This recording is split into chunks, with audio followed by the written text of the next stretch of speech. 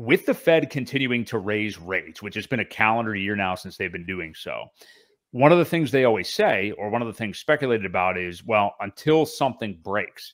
Well, stuff's definitely broken. Um, right. We've we've got some major things happening here, and we're going to get into what we think the Fed is going to do next week at FOMC. That's coming up, but um, we are seeing this now. So, what do you make of what's going on with SVB?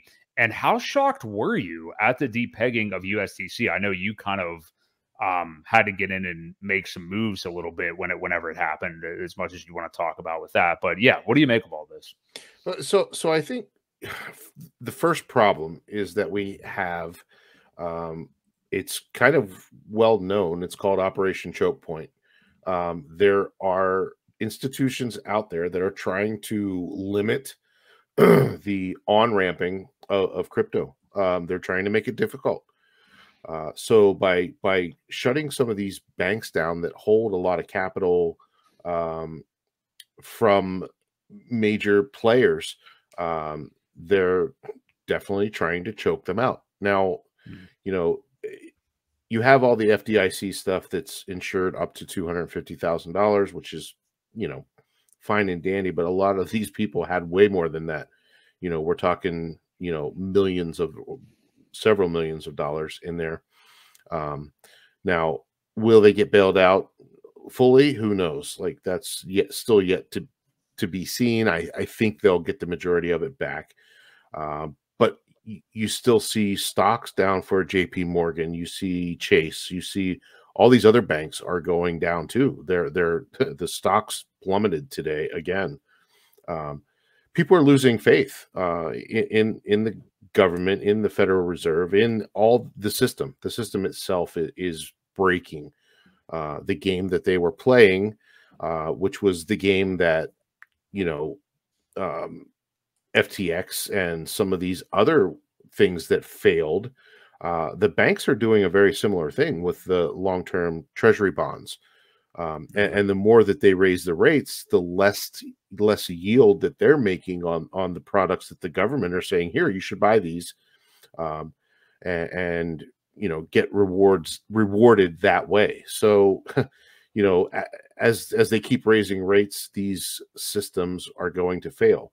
At the same time, I think this is kind of a way for them to expedite um, the CBDCs into play here, saying, well, guys, you can't trust the banks. Why don't you bank yourself and use our new central bank digital currency where you can spend it without banks' approval? You can do whatever you want. I can just totally see this coming as a narrative. Um, yeah. Make it hard to get into crypto. They'll limit who you can and can't exchange with once it's in the system.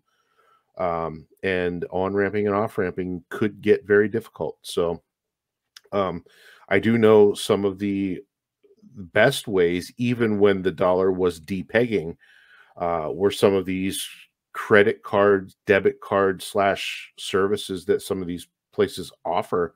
Uh, they were still honoring the the one dollar peg. So luckily, you know, people had that option uh, you, you, did bring up, and I had mentioned to you, I had, you know, I had fifteen hundred dollars or so in USDC while that was why it started, um, and I just quickly just bought Hex. I figured that was my best, right. Know, why not? Seems like that's what a lot of people did. A lot of well, people yeah. that. A lot of people bought Bitcoin. Yeah, right. Yeah. So I caught that around I don't know what it was, six cents or something like that. Um, and was you know fine with it. That's where it would have gone anyway. Um, but we saw a lot of movement. I I wasn't too worried about it not coming back. Like I didn't think it would just lose its peg and fall.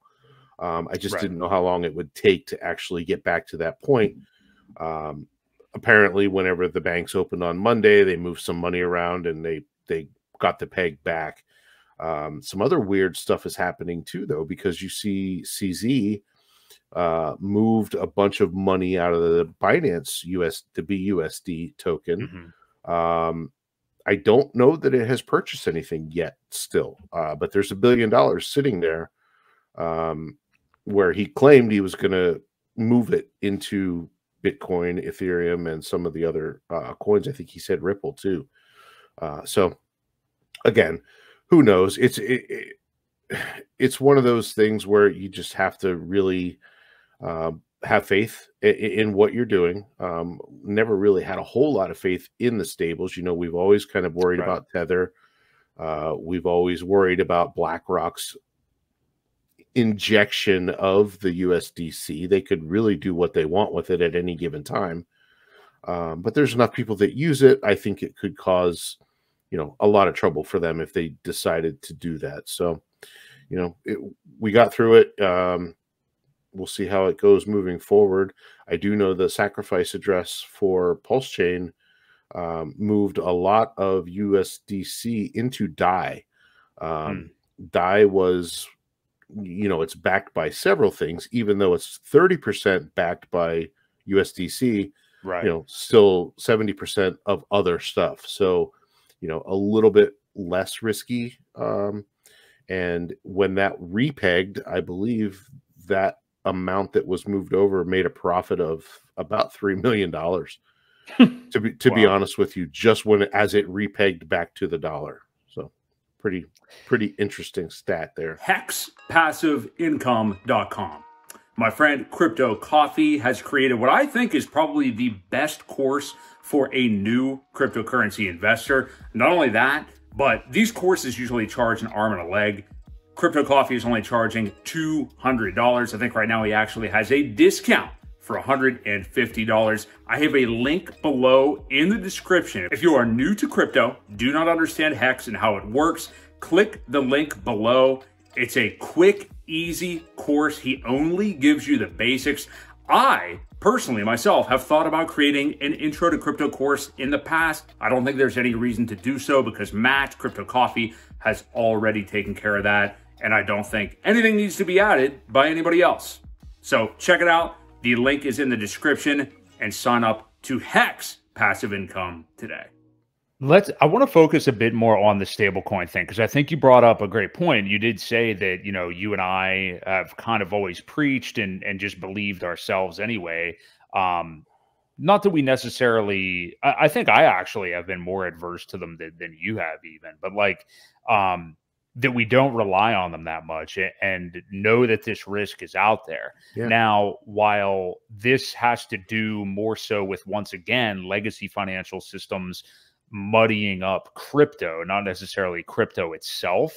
Um, you know, with what's happened with USDC, Tether has had you know FUD dating back, you know, basically every market cycle, and I just don't think it's a wise idea. And I, I know you agree with this. And you know, for anybody watching um, you know, you can do what you want. It's not necessarily investment advice, but it's how I would handle, you know, dry powder cash on the side. I never have it sitting in stables. I shouldn't say never. Like if I, eh, in the past, when I have taken profits on something, um, and I know that I'm going to redeploy it in a matter of what I think is weeks or less, you know that this is a number that you feel comfortable with like whatever that amount amount of money is for you that you're okay leaving in stables for a while i'll let sit in usdc like in my wallet or whatever before i'm ready to to swap it out again but i'm not like you know when i have a huge lump sum buying usdc and letting it sit there for months on end before i deploy it i mean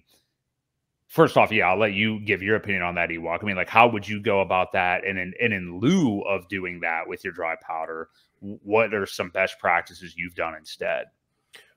I think moving it in and out of USD, um, mm-hmm. it, if you already have it there, um, that's a much safer move. Um, I, I, think if you're Coinbase or your Gemini or your Kraken, um, you can move things in and out of USD where it is still USD. Right. You don't have to withdraw it. You don't have to do anything. Um, and it's not like you're waiting for it to clear either. So that would be, I think, a better play than um, a stable coin. Uh, it, depending on how long it's going to be. Like you said, if it's a week or two, a couple weeks, whatever you think it might be, um, USDC or um, I've heard a lot of people talking about the true USD as well. Um, apparently, that is backed by um, different commodities that are um, in a escrow account and not so much it's not related to crypto. Um, is more it is the escrow uh, that it's tied to. So for some banks that don't even like um, crypto to begin with, if you can get it into True USD, that wire doesn't really show that it's a crypto. Um, pretty cool. I know Funding Jim talks about it a lot. Um, so it may be a play that I start to use. Um, and because it is an escrow account more than a crypto account, um, it may hold a better peg. So moving forward, that's an option for us to you know to look into. Um, but yeah, I you know I I wouldn't sit through a whole bear market. Um, like if you're going to take profits as it's rising and you want to hold it for the next you know downturn in the cycle, whatever it may be, that's a long time. I, I would suggest putting it into um, I don't know USD.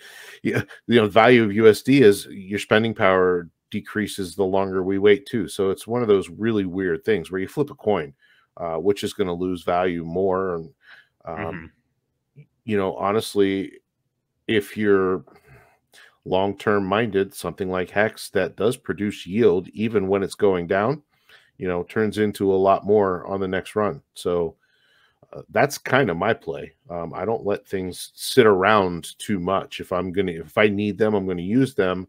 Uh, I'm going to pull them out and use them, but I'm not going to just pull it aside and just have it sit there, uh, especially you know with the product that we have in in hex well yeah and i think that's something a lot of people saw with this incident last week is like you know i would rather just put it in the actual cryptocurrency or the token instead of holding you know stable coins but right. i agree with you 100% on the usd thing like when i want to dca a cache of or yeah, a uh, you know whatever a, a, bag of money or whatever.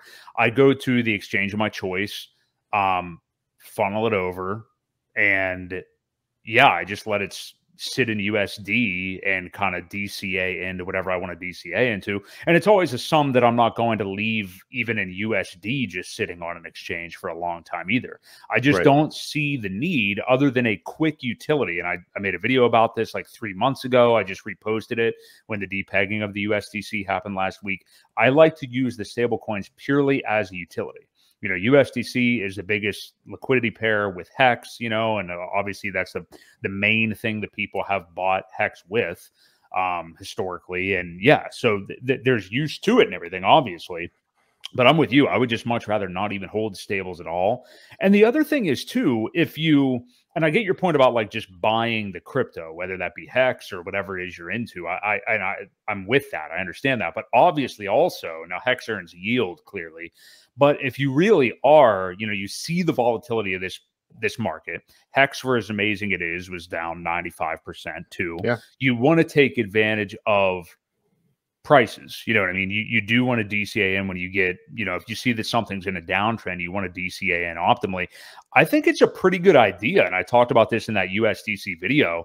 Um, I, I think it's a good idea to have multiple banks uh, uh not a great thing to be saying right now but like uh, you know multiple banks that you trust and i say multiple so you are differentiated you want plenty right. of off ramps and just especially in an environment like this with interest rates up so much you're getting uh, the least paltry amount of an apy in a high yield savings fund that you could get in a long time right now i mean you can get almost 4% yeah. I understand it's not really 4% at the end of the day with inflation and all these other things we're adjusted for. But instead of totally just letting it sit there like in an exchange where it's in danger as well and not likely earning very much yield, I don't mind having it spread out across a couple banks like that. And then when I'm ready to pull the trigger, I just pull it out of there. You know, yep, that's that's what I've always been a fan of doing. So well, and the one thing uh, we we discussed this the other day, uh, you and I did about the liquidity. Um,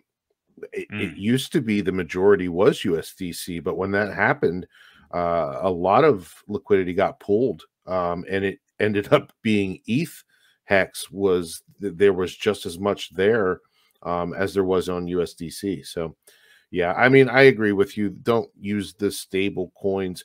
You know, we we talk a lot about not leaving money on an exchange. You know, get in, do your business, get out um, I, I, kind of equate that to the stable coins as well. Uh, you know, you use yeah. them for what you need. um, and, and you get out of them. So I just don't like having stuff sit around like that too long because usually you are keeping it. Well, you can keep it in your MetaMask wallet or, or whatever it may be, um, but much safer than sitting in a Coinbase or a um, Kraken or something like that.